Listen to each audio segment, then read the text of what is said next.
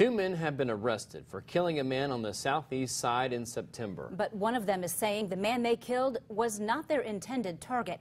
News Channel 15's Kaitor Pessoa has the latest on the investigation and one neighbor's reaction to the arrests. Kaitor? Mark Boldery says 55-year-old Bobby Moore did not deserve to die.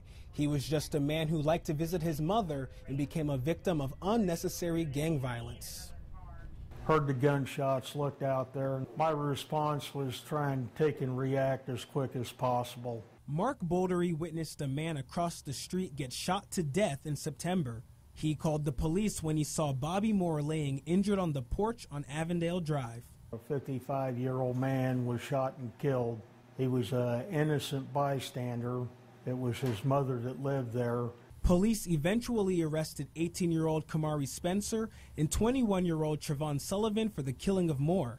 A couple of days after the shooting, the Fort Wayne gang unit made a traffic stop on four people. Spencer was one of them. He had a gun magazine that matched shell casings at the shooting scene. Then yesterday, Spencer told police they fired shots at people on Avondale Drive. They thought they were members of a rival gang. Shortly after, they realized Moore was not their intended target. Boldery hopes the two men arrested get the death penalty. Because they don't deserve to be walking the streets, putting innocent people at risk. Get a stop put to all this shooting because the man across the street didn't deserve to die because of a bunch of crap that's going on with these gangs and stuff.